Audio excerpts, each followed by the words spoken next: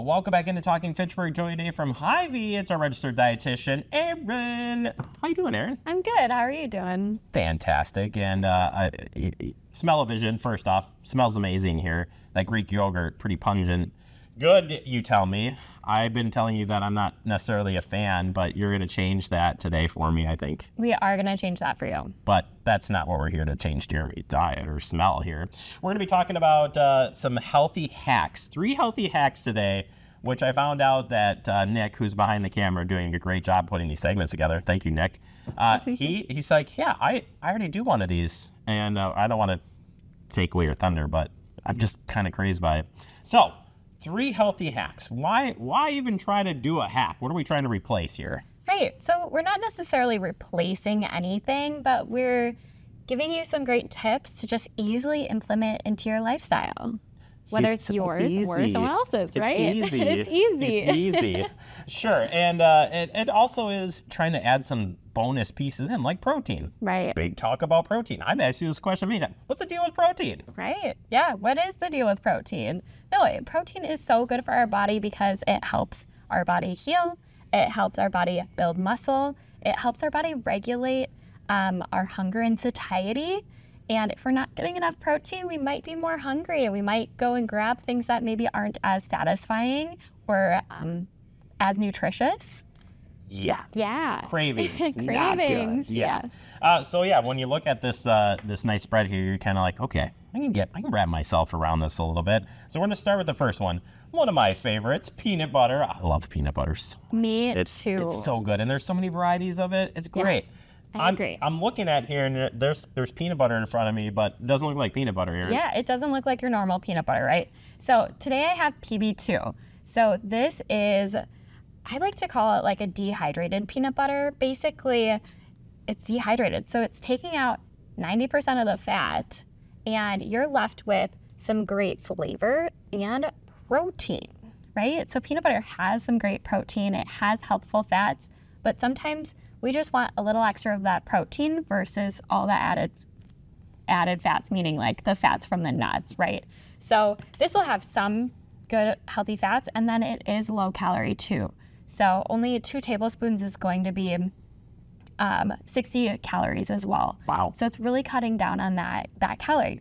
So PB2 is really cool because, like I said, it's that like dehydrated peanut butter, and a little can go a long way f- with flavor, and you can add it to almost anything. So I add it to overnight oats. You can add it to warm oats as well. But yeah, just a couple tablespoons, and it just made your oatmeal go from zero grams of protein or about one gram of protein to 12 grams of protein. Really? Yeah. And that's it. And what what's the flavor like uh, uh, for for those of you at home are like powdered peanut butter? Are you crazy? Well, when you add it to something like oatmeal, you're going to add a fluid, right? So, like water or milk, however you're making your oatmeal, and it's going to, you know, dissolve in there and it's going to taste like peanut butter. Wow. So, you just have, you just don't have that stickiness of peanut butter that peanut butter has. I like licking the knife afterwards. Well, you can do that too. You could even add a scoop of peanut butter right into that oatmeal as well, and then you just have extra protein and extra peanut butter flavor. Okay, so I've never heard of mixing oatmeal and peanut butter together till today, so that's a first. uh, so right there's a hack on its own, Yeah. but uh, interesting enough. Yeah. It, it's super easy to do, and like I said, that protein uh, you get it pretty quickly there uh, Right, uh, for mixing it in. And you can even add this to yogurt. Oh, you got to stop right now. Peanut butter yogurt. Yes. Oh man. So let's talk Erin. about yogurt. Okay, yogurt's really good. I love I love me a yogurt. And you've told me over and over and over again, Greek, that's where it's at. Why Greek yogurt? Greek yogurt. So Greek yogurt has a lot more protein in it, and um, tends to have, well, Chobani specifically has a little less sugar too because they have their um, their zero sugar Chobani. Okay. All right. So when we have a flavored yogurt, that zero sugar is nice and helpful. But yet, like I said, we're adding more protein. You're becoming more satisfied while you're eating that yogurt. And that again, curing some of the being hunger, that feeling of hunger. Exactly, exactly. So, like I said, we can add some peanut butter to that, um, to a vanilla yogurt, mix it up. I know I got a knife today versus a, um, a spoon. Mix it up really well, and then you have a, a fruit dip for your apples. Really. So it's like a peanut butter like a peanut butter dip Yeah. When and the Greek yogurt side. Yes, definitely. Then you have, if you want more savory, grab a plain yogurt. Okay. So plain yogurt to me it tastes a little bit more like sour cream. So something that Nick likes to do behind the camera. He likes to add this to his tacos, and I fully agree. I, a replacement of sour cream. How dare you guys? But today we can even add some dill ranch dip, whether it's the Hy-Vee brand or the favorite ranch uh-huh. and Hidden Valley Ranch, and then mix that up, and now you have a veggie dip.